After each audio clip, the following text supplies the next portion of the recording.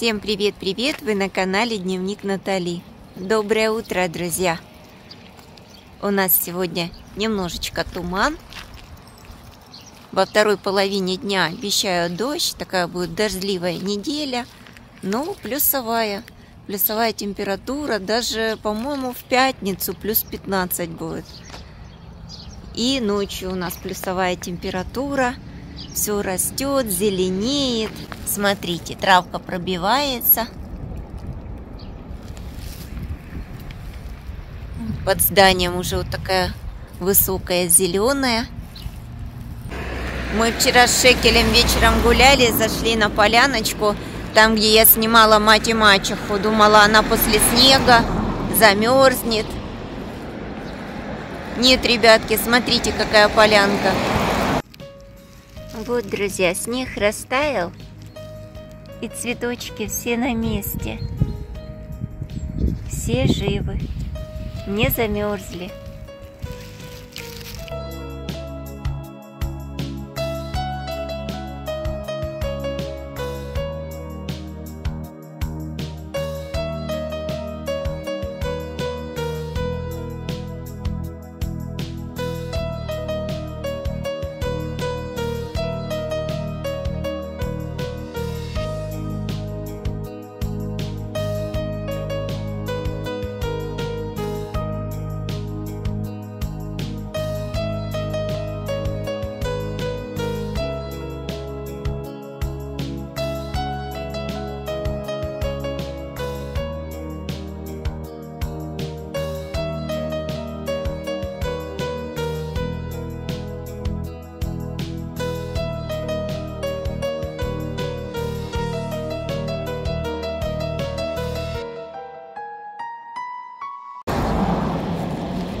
Такая красота, правда?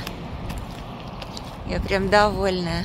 С подружкой разговаривала, она тоже сейчас живет в Норвегии, так у нее уже нарциссы цветут. Вот, Норвегия, она разная. У нас я видела, что вот тюльпаны уже проклюнулись, тоже есть нарциссы, но еще пока, кроме мать и мачехи цветущей, ничего не видела. Вот такое солнышко сквозь туман.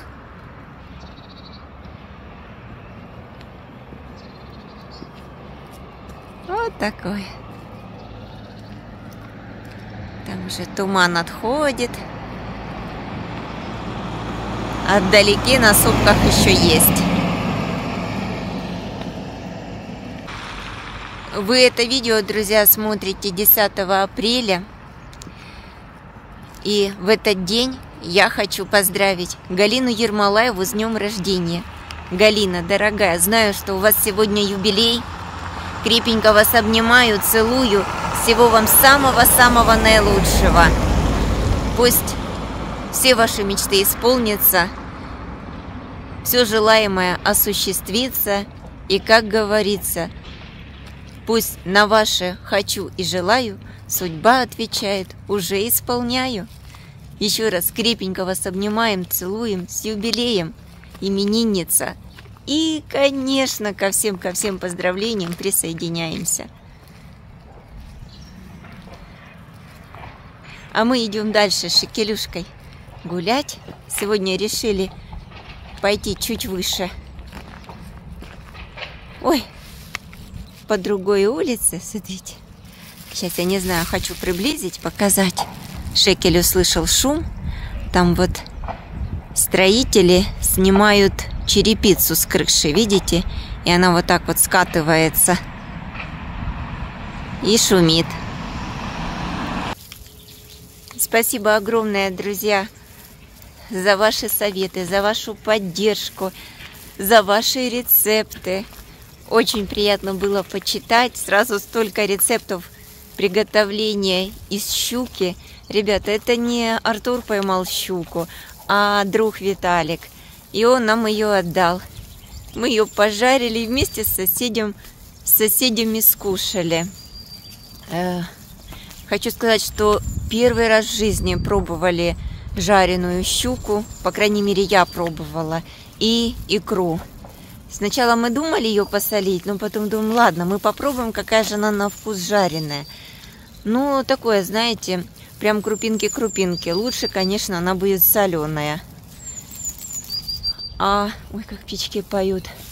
А вот жареная щука, ребята, вот на удивление очень понравилась. И она не такая костлявая, как вот рассказывали. Вот мои первые ощущения, это, ну, шикарный вкус. Чем-то, знаете, вот похоже на молочного судака. Э, рыбка была сочная, прям такая, знаете, сладенькая, вкусная, никакого привкуса, запаха, ничего не было, она не сухая. Это так вкусно, вот всем понравилось. И вот девчонки, соседки наши, девочки, вам привет большой. А, они раньше пробовали щуку. Говорят, очень отличается щука здесь и щука, которую вылавливали в Украине. Э, нет ни, ни знаете, такого вот запаха вот реч, речкового, э, который имеют рыбы. Шекелюша, не-не-не-не-не-не. А ну отходи оттуда. Не-не-не-не-не-не-не. Вот. И она не сухая. Вот сравнивали девочки, говорят, очень вкусная, очень всем понравилось. И да, мы хотим поймать щуку, будем ходить, ловить. И попробуем и котлеты, и разные рецепты. Так что пишите, буду скриншотить ваши рецепты. Даст Бог, и мы поймаем такую щуку. Это просто, я не знаю, мы все были в восторге. Когда Артур порезал на стейки, эти стейки, они просто переливались. Вот чтобы вы понимали, вот я могу сравнить только с углем. Когда я видела куски угля, и они переливались, а знаете, таким зеленовато, что-то желтенькое, что-то голубенькое, вот такое прям э, перелив такой красивый, перламутровый. И вот такие кусочки мяса были прям перламутровые, блестели. Очень красивые и очень-очень вкусно. Так что спасибо огромное, друзья за вашу поддержку. Мы надежду не теряем. Я тоже попросила Артура, он мне оснастит удочку, спиннинг. И я буду учиться тоже ловить рыбку. И надеюсь, тоже что-нибудь да поймаем. Я умею ловить рыбку только на поплавочную удочку. Спиннинг это будет что-то новое и впервые. Вот такая улочка, дворики. Тихенькая. Вот это уже сирень, ребята. Смотрите, я видела Вика там с Харькова показывала, что уже на сирене есть бутоны. Скоро расцветет. Ну а здесь вот только вот наливаются бутончики. На этой неделе, я уже говорила, будет плюсовая температура. И я думаю, что все расцветет у нас тоже. Сейчас вот покажу. Вот еще какие-то котики просыпаются. Так, вот, а то Шикелюшка маленько дергает и сейчас развернусь. И не всегда получается сфокусировать камеру. Смотрите, вот на сирене какие такие... Ну, это как кормушечки, гойдалочки, вот такой снегирь. Там вот, иди сюда, Шекелюш. Там вот синичка. Сейчас я просто приближу. И кормушечки. Видите? Вот так, наверное, вот. Как снегирь синичка и вот такие кормушки красивые. И вот здесь вот кормушечки на деревьях. Сейчас. Что меня шекель прям сегодня крутит, вертит разные стороны. Не знаю, видно вам кормушки? Вот такие.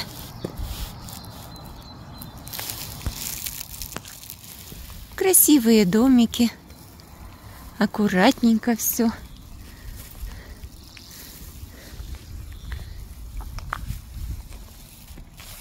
Такая у нас сегодня с вами прогулочка. Шекель, идем. Еще хотела спросить, ребята, кто знает, занимается огородом, подскажите, э, как мне удобрить клубнику э, подручными средствами-то, если можно так сказать, да? Вот, я слышала, там Вика э, сделала удобрение с картофельных очисток. Еще подружка мне, Людочка, подсказала, что можно удобрение сделать с банановой кожуры. Ну, это больше я не знаю, подходит для там, помидор, перца, таких растений, а клубнику. Вот там мне вы писали селитра, да я вообще не представляю, где ее тут найти. А можно ли заменить вот так вот, поливая картофельными очистками или э, банановой кожурой? Кто знает, подскажите, пожалуйста, буду очень благодарна. Потому что подсолнухи растут, а клубничка, как-то мне кажется, э, стоит на месте. Ее нужно чем-то подкормить, а чем я не знаю. Из удобрений у меня только удобрение для орхидеи, но я не думаю, что оно подойдет. Так что жду, жду, жду, жду от вас советов. Пошли, Шекелюшенька, пойдем, пойдем, малышек, пойдем. Сегодня еще собираемся с соседушками съездить в Швецию. Если будет что-то интересное, покажем, поделимся. Пойдем, малышек, пойдем. Все. А мы продолжаем нашу утреннюю прогулочку. На голове уже волосы в разные стороны. Пойдем, малыш, пойдем. А, еще хотела сказать спасибо большое по поводу шишечки написали. Слава богу, шишечка понемножку сходит. Мажем йодом, э, постоянно массажируем шикелюши. Э, шишка была у него размером как фасолина, сейчас уменьшилась уже как горошинка. Спасибо вам огромное. И очень переживала, потому что первый раз такая шишка. Вот. И вчера ему сделали вот эти две прививки. Мы постоянно массажируем эти места пока тьфу-тьфу-тьфу в добрый час сказать. Вот. Надеемся, все сойдет и все у нас будет отлично. Все, идем домой. Мой огород на 9 апреля. Вот так выглядит самый высокий подсолнух. Подсолнухи всегда поворачиваются к солнышку.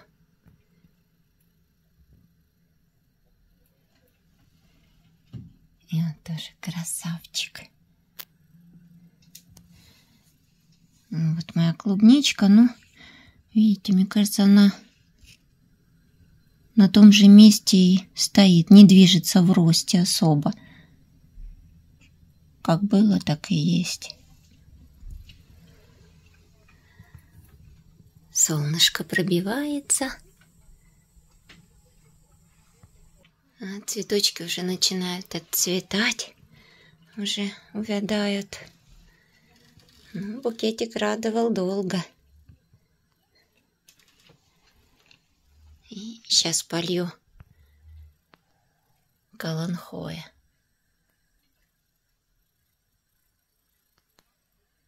Вот, приехали мы в Швецию, Еврокэш. Взяла вот такое кофе сливки и вот такая булочка. И это все за 10 крон. Покажу вам вот эту золотую штучку.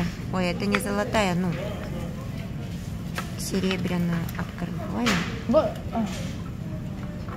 Так, так, так, одной рукой. Леночка, где возьмешь пачку, я с тобой рассчитаюсь, хорошо?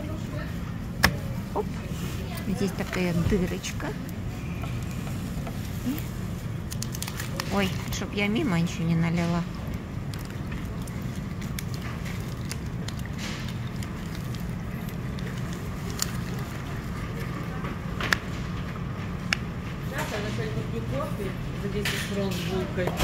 Вкусно. И будет Ну, нам не сильно, счастье. горя... не сильно горячая. Просто поэтому она это, но она не работает. Артур там берет себе сосиску, он кофе не пьет. Здесь вот отдел сигарет. Вот такая сосисочка. Школьная. А сколько она, 10 Артурчик? крон. Все, приятного аппетита. Благодарствую. Я попробовал булочку, говорят, очень-очень вкусно.